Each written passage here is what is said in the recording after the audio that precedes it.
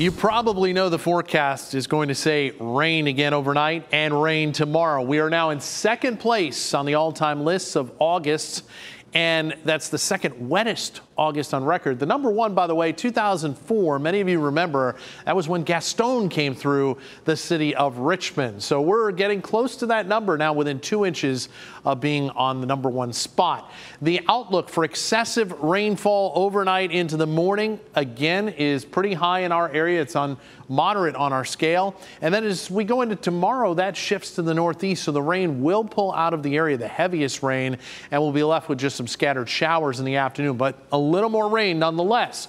These are the flood watches and warnings currently in effect. Again, the flood warning in effect for much of the metro until 1 o'clock in the morning, and that flood advisory going in Henrico, Hanover into King William will linger until at least 145 in the morning. There's the band of rain that has made its way through the metro.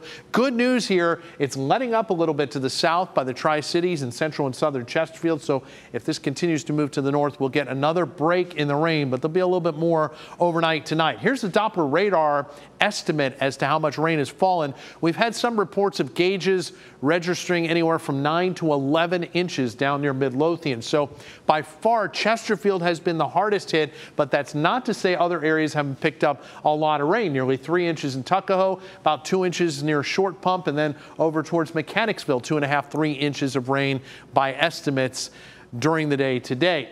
This is what we expect overnight tonight. And notice some of that rain may fill in once again. This is 7 o'clock in the morning going until about noontime. That starts to shift a little bit to the east. So hopefully we can get some of the steadiest rain that will come in waves to taper to a few showers in the afternoon. 5 o'clock. And then as we go into the evening, it all moves out of the way. Things are much quieter on Monday. We'll see a return of the sun. Then we might see a shower thunderstorm pop through during the afternoon. There's some hope that Tuesday may actually be dry across most of the area. So rain chances are going to come down substantially to begin the week and then more typical afternoon showers and storms popping back up yet again. Nearly a 50-50 shot Wednesday through next Saturday. Right now it's 69 degrees outside. We have cooled off a little bit, but it's really, really muggy. The dew point at 67 and overnight temperature's not going to change all that much. A little bit warmer towards the coast, a little bit cooler off to the west and north, low and mid 60s.